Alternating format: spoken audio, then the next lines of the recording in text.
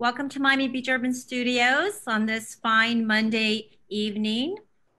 My name is Colette Mello, and I'm in conversation today with Miami based artist Kim Moore.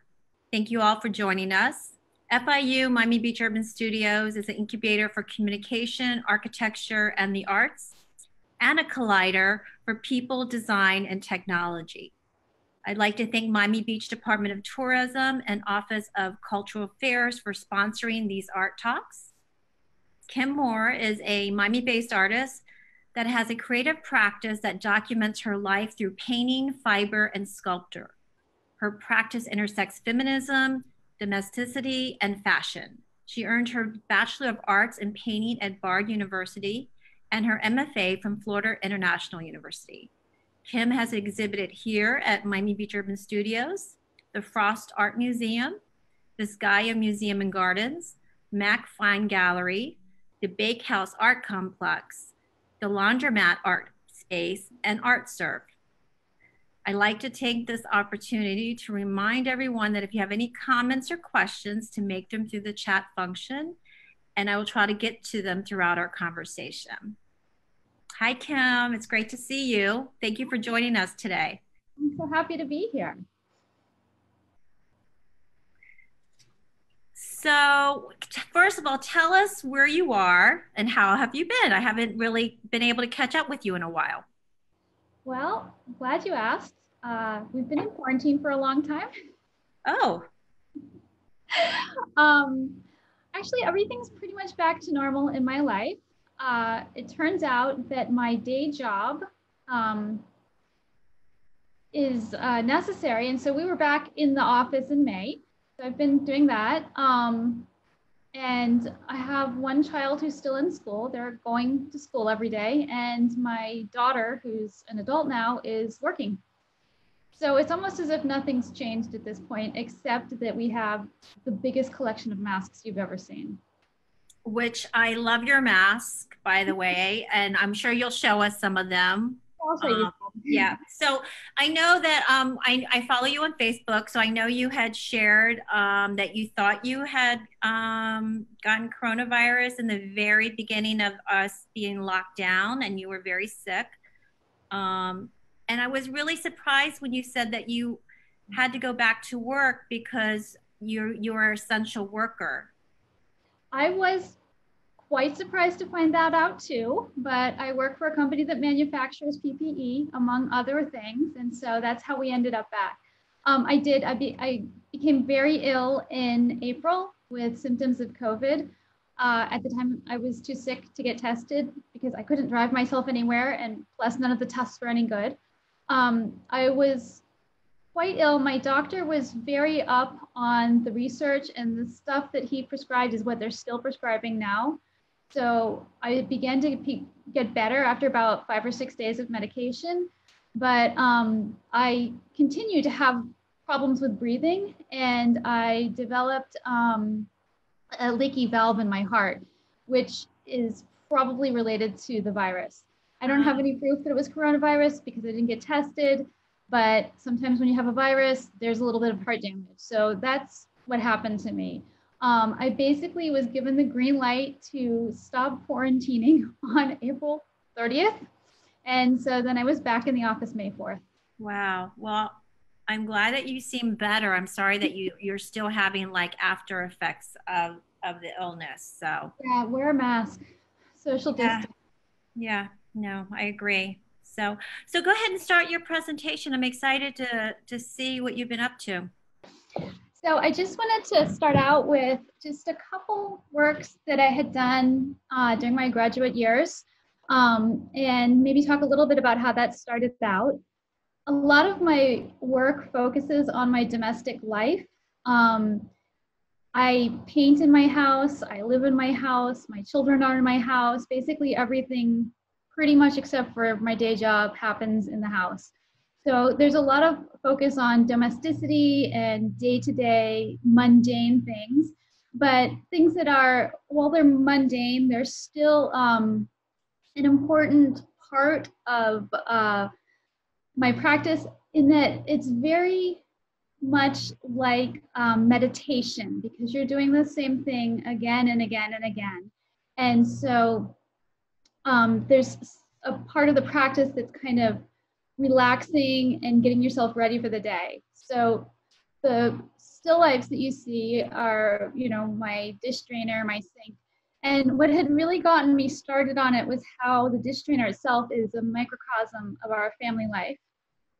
The first still life that I had done, which I don't have a picture of, um, just contained all of the weird stuff that happens in a house when you have teenagers and a roommate from China. And so the, the, there were the normal things in there like cake pans and knives and then chopsticks because my roommate only cooked with chopsticks. And then there were paintbrushes because they need to dry. And then there was a project that somebody was working on. And I just thought, wow, this really is who we are. And so I started taking a look at it. Um, obviously, I'm very interested in line and color, but not particularly interested in realism. And so um, my work kind of reflects that pretty noticeably, I guess. I, I always feel like this real pull between whether it's drawing or painting. And so I kind of combine both in everything I do. This is another picture that I did around the same time. They're very big. This one's, I believe the last time I measured, it's like 40 by 50 inches or something. Wow. So it's, it's, it's pretty noticeable. Um, and then I put in a couple shots of a show that I had. Where, where was this again? Art Serve. Art serve. I remember the floor. Sometimes they start to run together. So this was a show I did at Artserve um, with Colette and a bunch of other people. And it, it shows kind of a variety of the pieces. Um, if you look at it, you see the black lines, that is usually charcoal because I start out with charcoal background a charcoal drawing and I try to show every single layer. I'm very interested in what happens before and what happens afterwards. And I like to have all of the layers showing at the same time. So you've got your your basic sketch still showing and I paint right up to the edge of the charcoal. Recognizing, of course, how risky that is, especially since I use oil paint. So that's kind of where my painting is. Um, that's generally how I work. I start out with a, a, quick drawing of something that I've seen, and then I start working in the paint. Um, also, at the time when I was in school, I was really looking at how we raise our daughters because at that time it appeared that I had two daughters. And so I was really thinking about um, beautification and how we pass these ideas on to our children about what's important um, you know in every single way. Like i'm painting my toenails so i can go out on a date. So now my kids are painting their toenails. Now am i bringing them up to try to make themselves pleasing to men? It was like this whole thing i was thinking about. And um, so i had i'd done a couple pieces well a lot of pieces actually probably about 10 just looking at that kind of um, beautification process and what it means to try to make yourself attractive. And I also had fairly young children at the time, so it was weird to me to be training them up to try to be attractive to men when they were, you know, eight and 12. And so, but it happens with everything. This was just one particular thought that I kind of focused on when I was looking at that idea.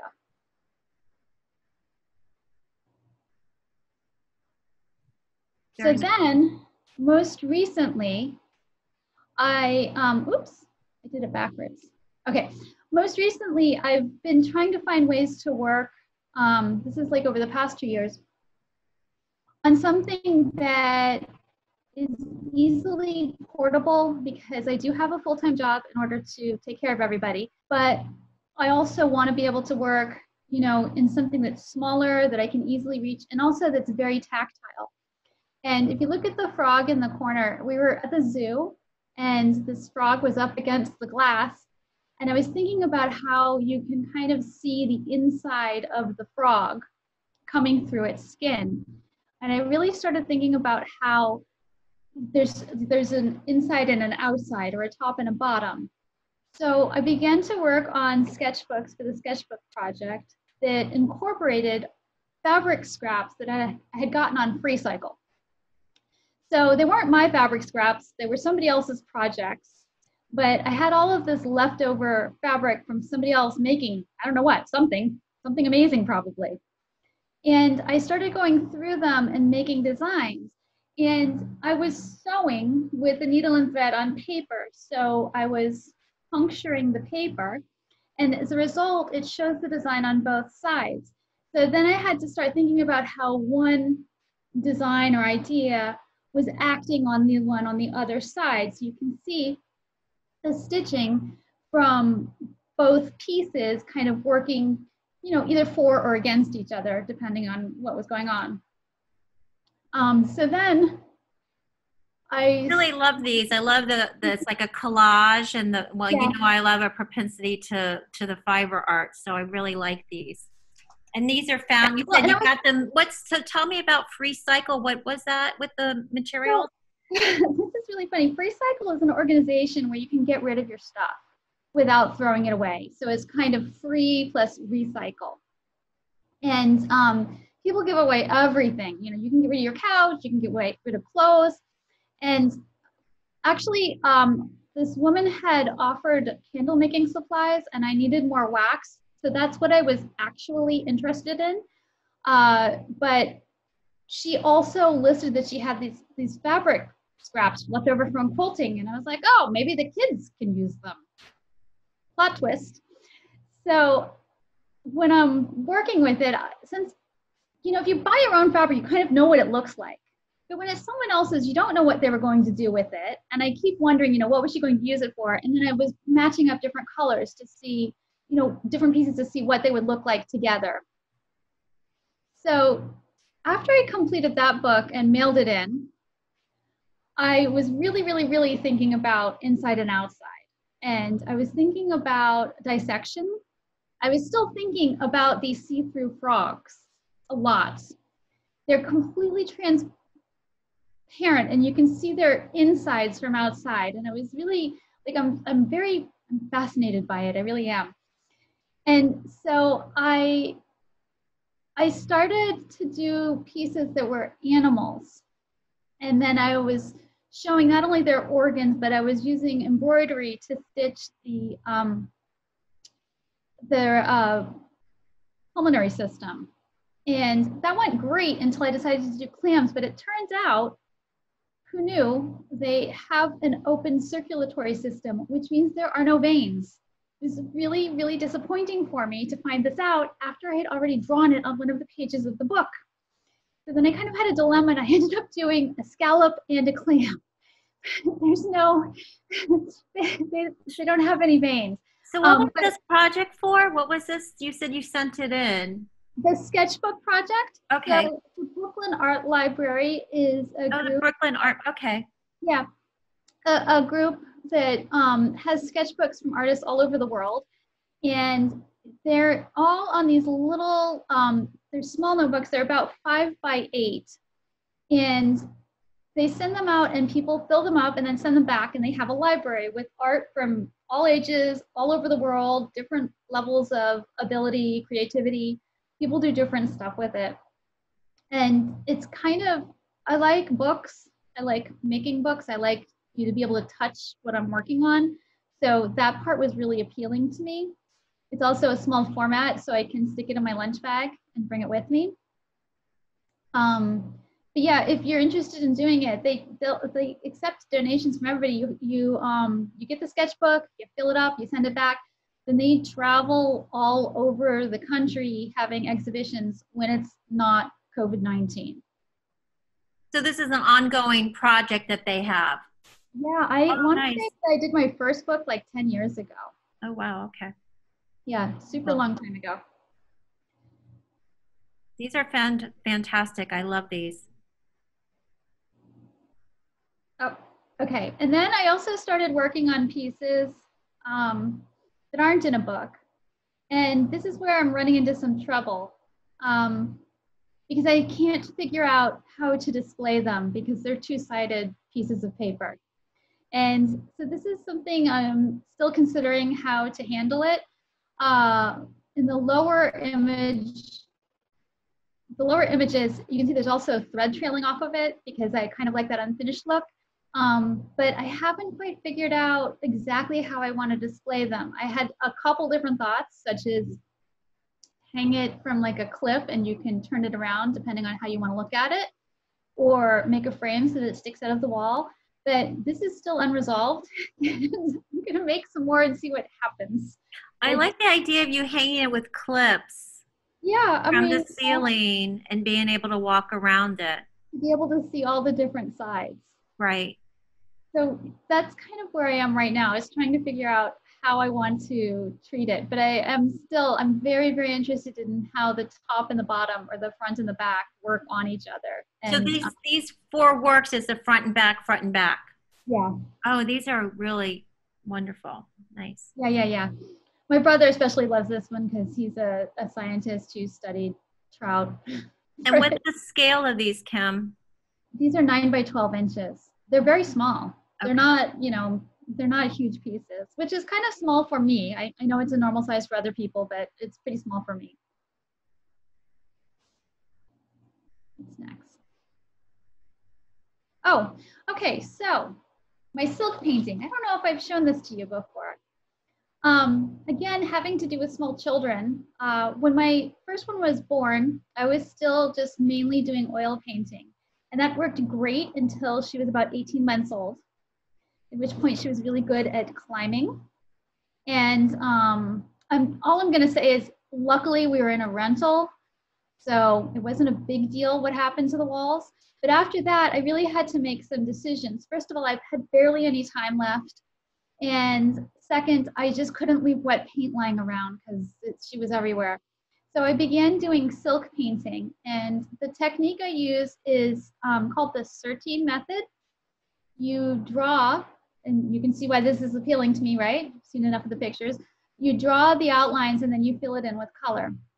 And there's a lot of advantages to it. First of all, you definitely have to do it in steps. So if you've only got an hour or two, you can get started and work on it the next day and nothing's going to happen. The paint is supposed to dry. It's not like you start an oil painting and you work on it 10 days later and it's kind of sticky. You don't have that problem. And it also addresses an issue of having useless art, which is something I think about a lot. Um, and one of the appealing things is that I can paint basically a watercolor painting and somebody can wear it around their neck or around their head or do whatever they want to with, do with it. And so they have art with them that's, you know, very transportable. And then in the background here, I don't know if you guys can see it, it's not showing on my screen. There's a little sketch. We go to the Everglades all the time and do like one minute sketches of stuff we see. So it's like a big inspiration for me. These are, I really love this. And I know I haven't seen this before. Um, and I see, yeah, we do see your image at the bottom of the alligator. I really love that. So when was this made? Which? The the alligator scarf. The drawing or the scarf? The scarf. The scarf. Um, February. Okay. So yeah. that was your last trip to probably the Everglades before yes, the pandemic. Yeah. It was. I think we went one more time, but we could only go for a day trip. We couldn't stay. Because you usually go camping there, right? You and your your daughters will go and um, spend a two or three days? Every month in the winter so that we can see how it changes, how the water goes down and the different animals that come and go, and especially the birds, because we're all pretty obsessed with birds and alligators. Nice. So that's a trip we make all the time. So I have a million sketches that I've done, a million. I have a comment from Pip. Kim, you did a great silk painting oh, workshop oh, yeah. in my fiber class spring of 2019. That's right. It was a fun class too. I went after work and um, everybody in the class was super nice and they were really, really excited about it. I was just showing them, I was demonstrating the techniques for silk painting. Um, so Pip, did they start painting afterwards on silk? I don't know if she can talk. She might be on mute. Oh. Let me see. Hold on. Let me see if I can open her up. Where's Pip? Unmute. Yeah, you know, Brandy's still doing it. Oh, really? Yeah. And and they did it for a while, but Brandy kind of stuck with it. That's awesome. That's yeah. So cool. yeah, really. She uh she bought all the st- somebody else bought all the stuff too. And then uh and, and then when it was work with it out, you know, after class was done, because I think by the time they got the stuff, you know, class was done. But no, that was like a fun day. It was great. Yeah, it was, and they were so creative too. Everybody they were. Totally different way of using the materials. Yeah. I mean, it's so it's so sen- it's kind of sensual to do. I mean, it's, it's so sensory. Yeah, it is.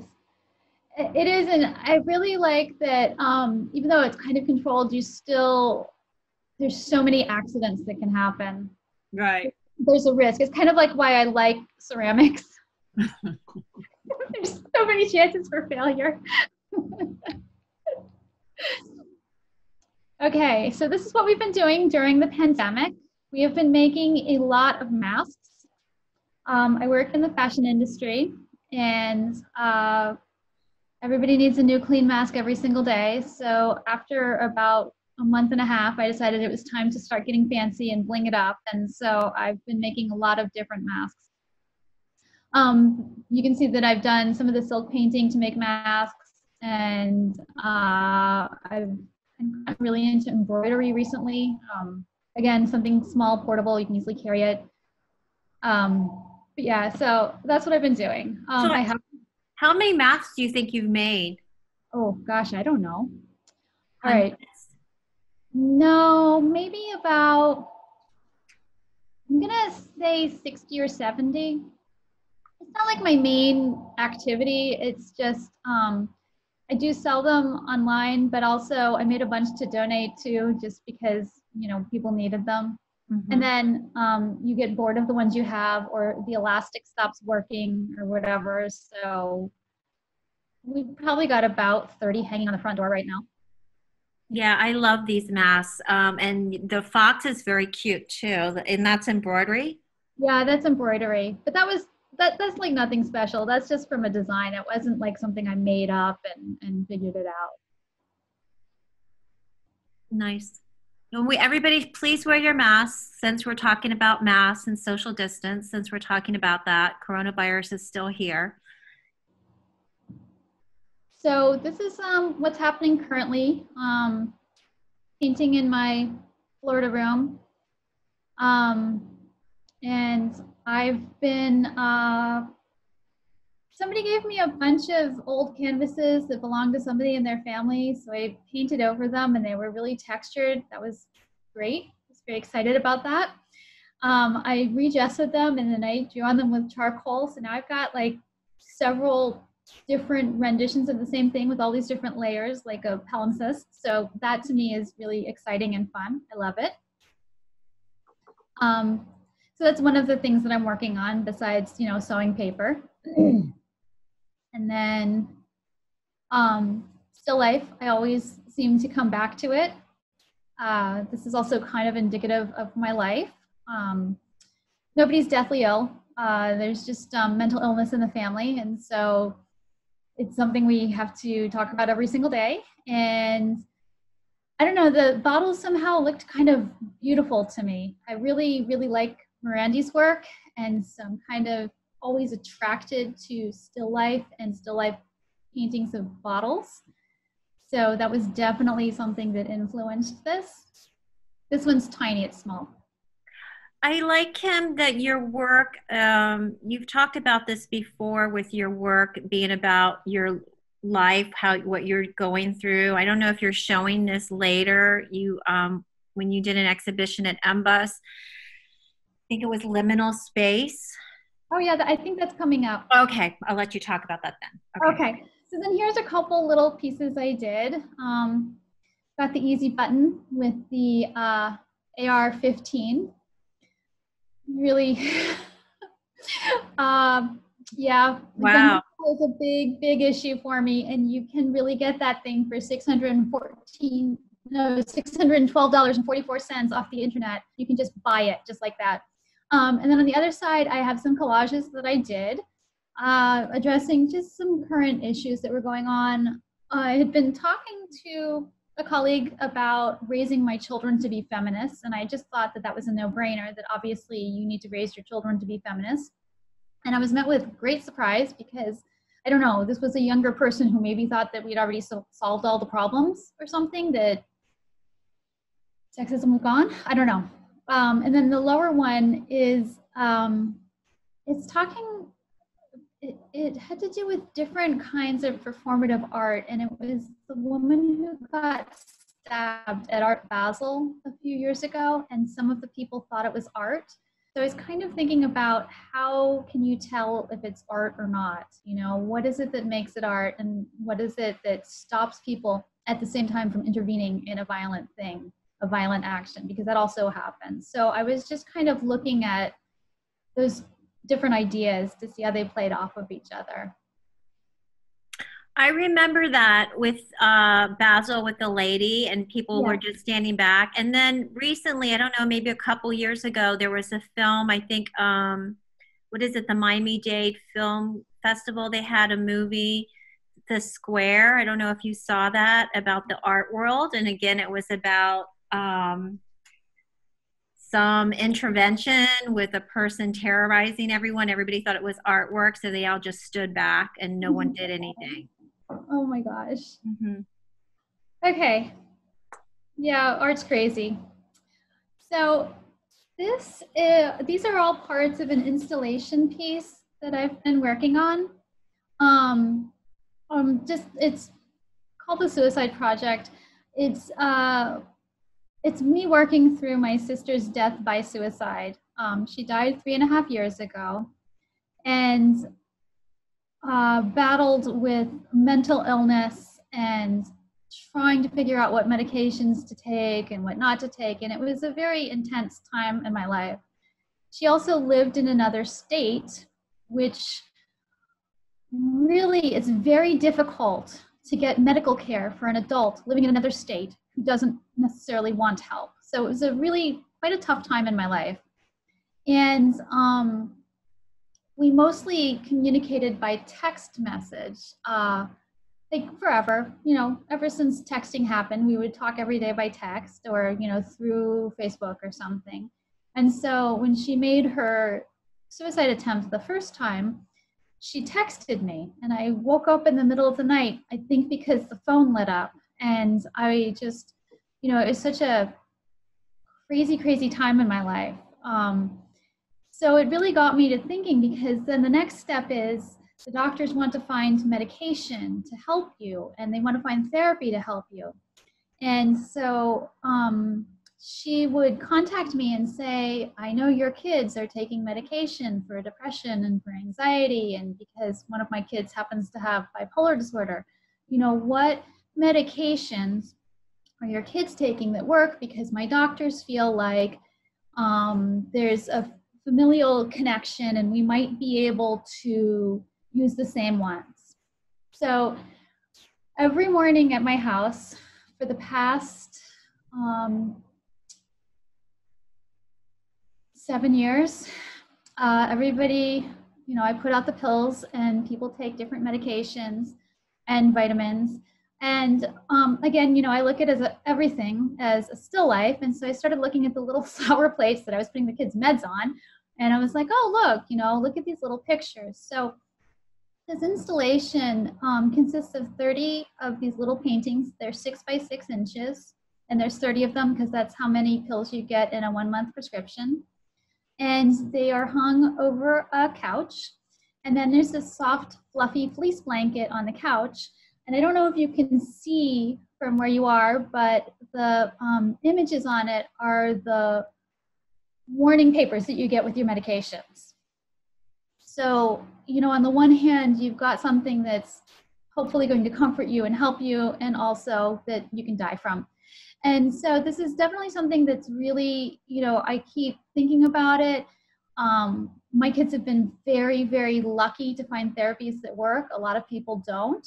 Um, and it was really hard helping my sister. Um, I will flat out tell you, I picked my children they were small children and I picked them. I had to protect them first. Um, and so this is something that I continue to do with my uh, kind of political work, if you will.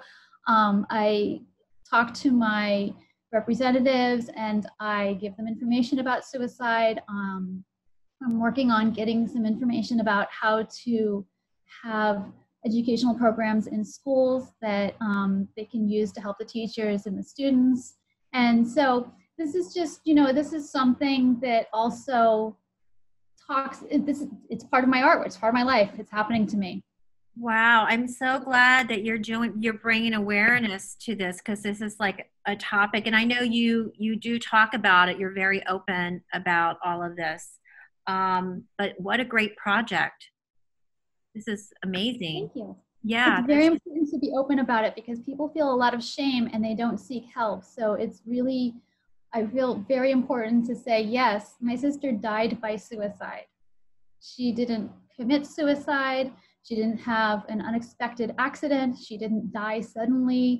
You know, like all, all of these different euphemisms that people use. She died by suicide. And most people who do make suicide attempts can be helped if they can get the proper help, if you can stop them. So it's important to keep the information out there. Do you want to move on to a slightly brighter topic? Okay, but I think this is a really important topic, and I'm glad you're doing it. And I ho- uh, I I hope that maybe um, we can work on something together. Yeah, I would love to. Yeah, I would love to. There needs to be more transparency about it. So this last piece that I'm going to show you is called liminal space, and um, what you see on the floor are a thousand paper cranes. Actually, there's not a thousand in this picture, but what had started out as a thousand paper cranes. My sister folded them for me for my marriage, and my marriage ended. And I had kids. I know this keeps coming up, but it really does inform my art all the time. And um, the paper cranes had been in a huge glass bowl in the dining room their entire lives. And I felt like I couldn't just throw them away and be like, yep, that's it. I'm throwing away your father. I'm throwing away the cranes, you know, whatever. And so I spent a lot of time thinking about what to do about it. And um, then I learned about slip dip. And um, one of the grad students had made, you know, ceramic popcorn that way. And I thought, I'm going to try this out. It was the same time uh, it was around the time when my father had died and i had gotten back into ceramics to make urns for um, my siblings. And i thought about this as being kind of like a whole bunch of little tiny urns you know because once you've cooked them in the um, kiln everything inside turns to ash so i slip dipped a thousand paper cranes some of them didn't make it because of the type of paper that my sister had used and um, I talked to my pastor and decided that on the 1000th day after my divorce was finalized, I would have a service of hope, healing, and gratitude. And the cranes were part of the service. So that's where this project had started out with just, you know, this whole like first of all mundane practice of dipping them. It takes a really long time to dip a thousand cranes twice or three times let me tell you and then even putting them into the kiln took a long time. Um, so i just really saw it as a kind of a moving forward like um, my old life had kind of died and been buried. The new life uh, is so much better. So then I was thinking about what else to do with them, and Colette had said something about doing an installation, and I thought about you know the phoenix coming out of the fire, and so when I had put in this installation, I didn't use all of the the um, cranes because there's like a zillion of them, um, but I put in the red cloth just because I was thinking, you know, fire, flames, or the phoenix, or you know something like that, and um, that's kind of where I went with that. Yes, I remember this. So this was the second iteration, and then you did a third iteration, and then you did a fourth, right? Do you want to elaborate on those really quickly? Yeah, well, so then it also was, um, where's that place? Art Serve. I did it at Art Serve, and then um, you know, a lot of the little pieces get broken or whatever. But then recently I was um,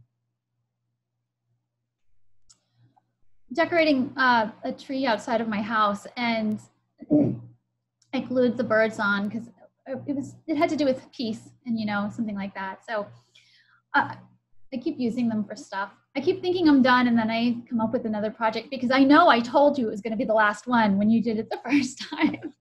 Yes, yes. But I like that it's still going on. You're still working with them. Yeah, something keeps coming up. Okay, so here's my next project that everybody can participate in. Remember how this year was supposed to be the best year ever because all of the major holidays were going to be on the weekends? Yeah, I remember that. yeah, so um, uh, we yeah. missed a lot of them, and I've figured out the best way to deal with this. We are going to catch up on all of the holidays we missed on New Year's Eve. So you're going to need to get prepared. There's going to be costume changes. You're going to need um, some activities and specific food. And you're going to have to take pictures so we can prove it happened. So here's the schedule, guys. We're going to start out with St. Patrick's Day at 6. You're going to wear green, Irish soda bread, green beer. 7 o'clock is Easter. You're going to wear your Easter bonnet and dye Easter eggs, and you can even eat chocolate. 8 o'clock, Gay Pride Parade. We totally missed that this year. Get fancy. Cocktails. You have to have good cocktails. And then go up and down your block. 9 o'clock, 4th of July, sparklers or fireworks, depends on your neighbors. 10, Halloween.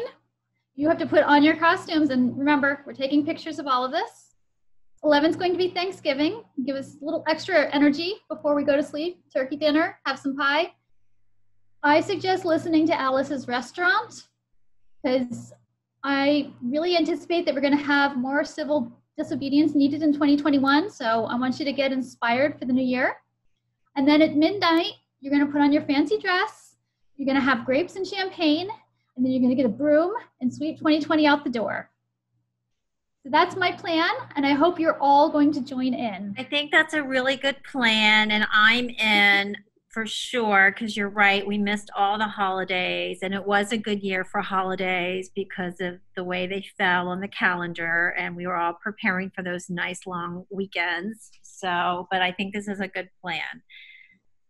And what did you say about valentine's day? You didn't include it? well i didn't include it because we did have valentine's day. Okay.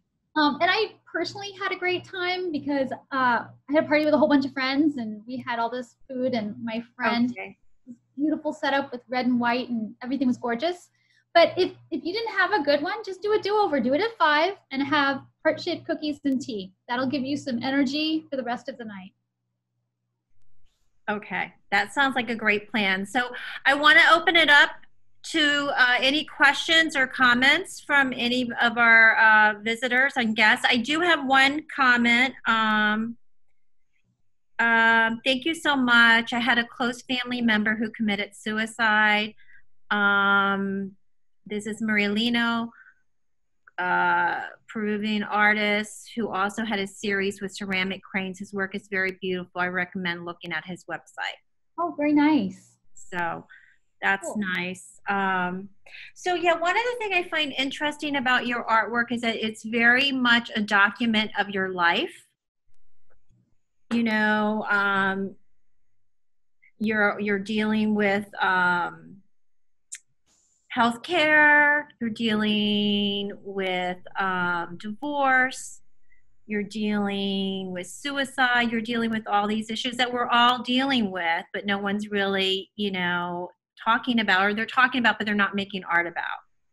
Do you want to talk about that for a minute why that's important to you or why is that has that always been part of your practice or is that something that um, it's evolved? I would say it's evolved but i think also um, you have to have a way of dealing with the things that happen in life um, and everybody does it in a different way. Some people you know do weightlifting. Um, but i make art about what's happening to me or you know what's happening in my family or what i'm going through and I, I think that it helps me process what's going on. Um, so I also, like I said, I have to find way to fit art into my life and my schedule. And so however I can cram it in, I do it. So I guess it's going to be whatever's happening to me is going to have to have input into it. Well, I like you. Um, I know how you said you do your your paintings are large, but you you've been able to do the smaller um, fiber works because you're able to take it to work with you.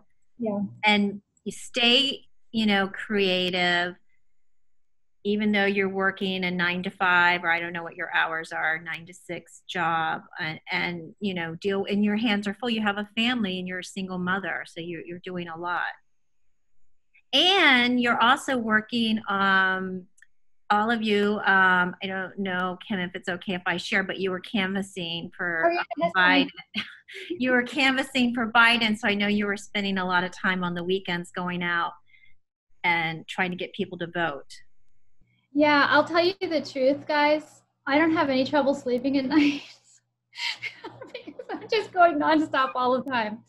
We did do some canvassing. Um, you know, it kind of sucks in Florida because it's so darn hot, or it's a thunderstorm, whichever, your choice. Um, and it was an interesting experience. I went with my younger child who's 16 and can't vote and is also a transgender person. So politics are something that we have to worry about all the time, especially here and um, but we would talk to people especially young people who really didn't want to vote because they didn't want to bother but they were too embarrassed to admit it to my 16 year old so then they would lie to us and say they were going to. I don't know it was kind of heartwarming. Maybe in four years they'll vote i don't know. But they just really uh, there was just something really sweet about it but they didn't want us to know they weren't actually going to bother voting I don't understand that. Well, if they're registered to vote, and it was so easy to vote. I mean, now that it's it's going to be contested, of course, with our president with mail-in voting, because when you're canvassing, you're going only to the Deb, the Yeah, Democrat. You're not going to, uh, yeah, you're not going to Republicans. You're only going to registered Democrats that have registered, right? yeah Do you want to share? I love this story, and I've been watching you on Facebook for a while, and you've been sharing the story of your um, your signs oh being taken out of your yard by your crazy neighbor. it's been going on for years that you have this. You guys have this ritual, I guess, that's been going on. I think it's keeping him spry. Um, actually, what happened was uh, the election two years ago. Um, Randy Burman had made a whole ton of signs uh, about the election, and I got to and put them up in my yard. And my neighbors are just diehard Republicans. Also, keep in mind that we're in Miami, and I'm a woman living alone, so you know I'm the enemy already. And uh, the old guy next door kept stealing the signs. And so he stole two of them, and I just thought, okay, this is kind of a pain. Um, so uh, Nanita and Randy got me another two signs, and I put them up, and they got stolen too after a week. And it's very funny. He's got he's got such a a tell because our big trash is picked up on Fridays, so you would always get stolen Thursday nights. You could just go out on Friday morning and, and take it out of the trash bin. Oh my God. Oh my god, it was hilarious. So then we got two more finally, and I tied one to a tree because I figured he'd need to get a ladder, and I know he doesn't have one. And then we we, chained the other one to a cinder block, but it did eventually get stolen. Oh my One God. in the tree though, that one remained. We've still got it. Okay. Yeah, it's just like a it's just a, a crazy, crazy thing. Um, that having a sign like that could make somebody so angry that they would come like steal something out of your yard. Yes, it is unusual that they would feel they needed to do that. So, But uh, we thought for sure that the signs would get stolen this year because I have one that says we, the "We Believe" signs. You know, we believe in science and Black Lives Matter. And but um, the wife's daughter has moved in, and I think that might actually have prevented him from, you know, openly stealing stuff out of my yard. oh, well, that's a plus. Maybe she um, had some good conversations with him about the election as well. So that's good. Well, Kim, it was so great to catch up with you and to learn more about your practice. I, I didn't know you were working on so many things. So even though I follow you, I know you, you, we don't get to see everything that we're working on. So thank you so much. I want to go ahead, if you don't mind, um, what is it, not sharing your screen? I was going to Oh. try to unmute everyone so they could say hi to you. Let me go ahead. Everybody can, um, I'm going to unmute everyone. Feel free to say hi. I came, I laughed everything that you're doing. Uh, Oh, I great. love you, Marco. It was great. Great talk. Loved Thank it. you. Thank you so much. I see Yasmin here. Hi. Haven't seen you in a while. It's good to see you. Yes. You have to come to a talk. We would love to hear what you're up to. All you have to do is be on TV. You can do it. It's good to see you. Good job. I like Mrs. Kalas. That, that's because of my classes I teach, and it automatically put that. I didn't realize. It was I didn't type in it. It was already there. I'm getting so old. so, yeah. So, I So that Well- yeah, that was great. I, I I I can I get a recording of this since my students didn't come? Of course. Yeah, I have it recorded and it's on Okay. Facebook, but I'll send you the recording tomorrow. I have Raymond will just do a quick edit for me because it seems like I forgot to hit record. So I'll have to, um, I think every time I ask him to do one of these, you know, yeah, that's okay. I don't blame him. I, I'm going to have about four or five Zooms tomorrow. So, Oh, you know, you are? their life is probably that way too. Yes. It's all the time. Everything. And I don't, I don't, there's something really, you So, too much of them is not fun. But today, this is the only one. So I was like, this, it, it makes it better if it's just the only one that day. So- yeah. And Kim, your work is so great. So thank you so much for sharing it with us. Yeah, I really think that that bringing your life into your art like that is is it makes it so much more sustainable to keep being an artist too. Um, yeah, well, it makes it hard not to be an artist, really. yeah, I Yeah. mean, And your girls are creative too, right? Yeah, yeah, yeah. how can they miss? And I saw, and you know what I love when I follow you on Facebook? I love all your Facebook. You you crack me up. But like you had the Halloween costumes that you made and the flamingo, and I know you made all of them, and they're really great. Yeah, Yeah. no, it's it's everything. We just um yeah, I mean, those of you who've, who've seen my house know what it's like here. We, you, you know, um, the lady, the author who's Sharon Louden, she wrote the book Living and Sustaining a Creative Life. I think of you. Oh, I've never read it. Yeah, she she talks about how artists can maintain that, and I think of you because you're always living your artwork and sharing it with the rest of us, and you're very open about it. Yeah, I am. I'm very open. I was actually surprised when I was looking through for pictures. I was like, wow, I did a lot of stuff the past couple years. Yeah, you don't realize how much stuff you do until you pull it all together, right? I see that. Yeah, I see that. Yeah. Yeah, and then I said it, and Laurel rolled her eyes, and she's like, look, it's all around you. That's how I feel. I go, I didn't do anything, and I start having to rifle through everything. Yeah. Yes. Yes. Yes. So, It made more crap today too. So, oh, no. oh, you did? Oh, I can't wait to see it. you know, I'll, I want to bring it to Emba. So, but Kim, me and you have to work on something with um, one of your projects. So, Yeah, absolutely. Love it. sounds good. All right, everyone, have a great night. Wear your mask, social distance. Um, and we'll be back next Monday night. Uh, we're having the BFA thesis uh, panel discussion. So I look forward to seeing everyone then. Thank you. Thank you. Thank Bye, you. everyone. Oh, bye. Bye.